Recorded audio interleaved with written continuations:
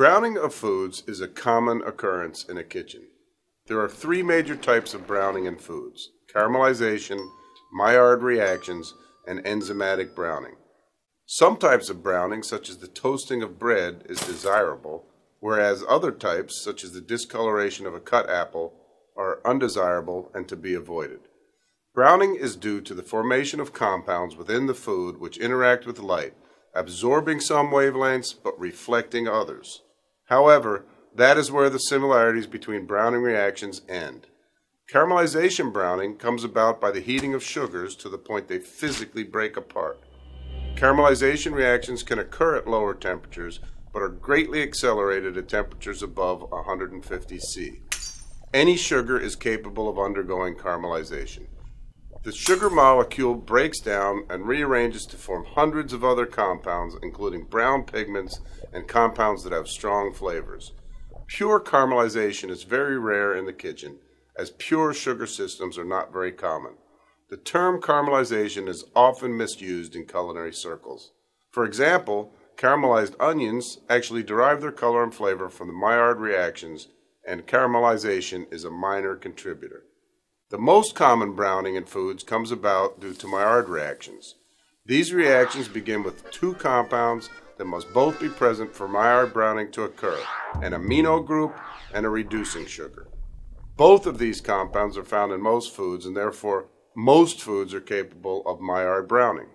Like caramelization, the reactions can happen slowly at low temperatures but speed up greatly over 150 C.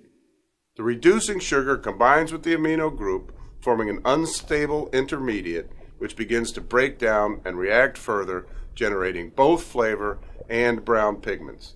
Maillard browning is responsible for the color and flavor of toasted and roasted foods such as bread crusts, brown crust on roasted meats, coffee, and chocolate.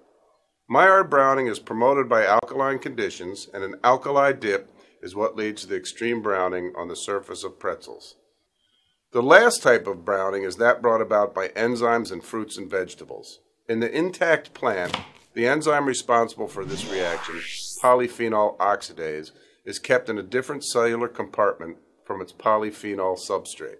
Cellular damage, such as from a knife, disrupts this compartmentation and mixes the enzyme with the polyphenol and oxygen from the air. The enzyme combines them as a reaction to wounding to make protective compounds which prevent infection. The reaction does not generally generate flavors, but the brown color of oxidized polyphenols is usually regarded as a negative. However, in the production of black and oolong teas, oxidation is promoted to generate color and alter the flavor and aroma profile. Because this reaction is enzymatic, it is slowed down by lowering the temperature. Changing the pH, such as adding vinegar or citrus juice, also slows down the reaction.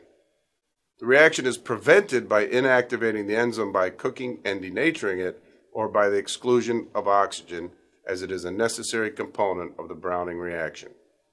Antioxidants such as ascorbic acid can also be added to slow the reaction by either being oxidized themselves in place of the polyphenols, reversing the reaction by reducing oxidized polyphenols, or binding up oxygen.